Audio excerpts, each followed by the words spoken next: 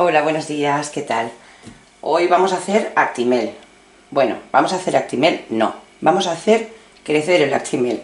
Tengo aquí dos botecitos de Actimel que llevan 100 gramos cada uno y bueno, ya sabemos que esto es un poquito caro. Pues vamos a sacar 100, 100 y un litro de leche, vamos a sacar un litro 200.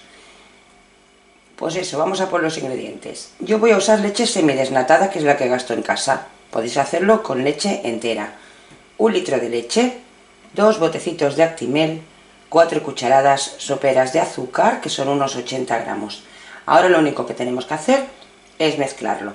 Esta receta es de Sonia, Sonia Mellado, y lo vamos a hacer, lo vamos a batir aquí y lo vamos a hacer en la olla. Ahora lo único que haremos será eso, mezclar. Ya tenemos la leche, ponemos el azúcar, los Actimel, pondremos los dos y lo que tenemos que hacer es batirlo bien hasta que se deshagan los granitos de azúcar.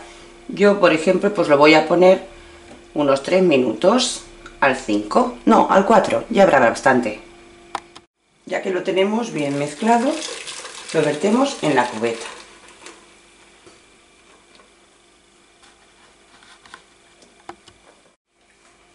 Con la olla tapada, válvula abierta, elegiremos...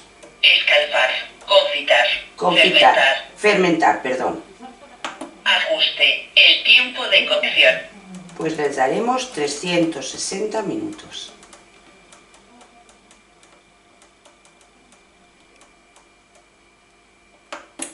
El proceso de cocción comienza. Y ya está.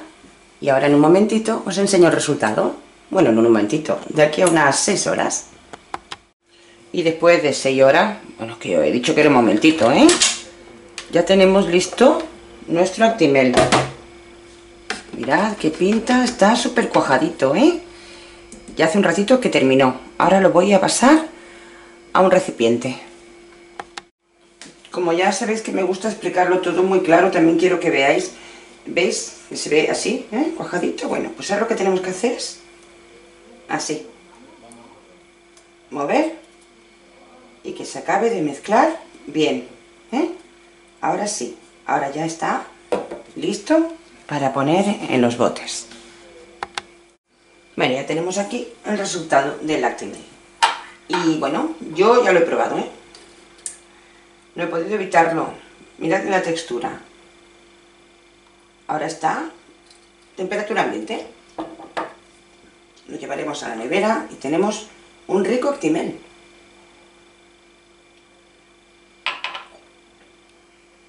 Está buenísimo. Un punto de dulzor exquisito. Bueno, pues aquí tenéis una manera de hacer Actimel en casa, ahorrándonos un montón de dinero.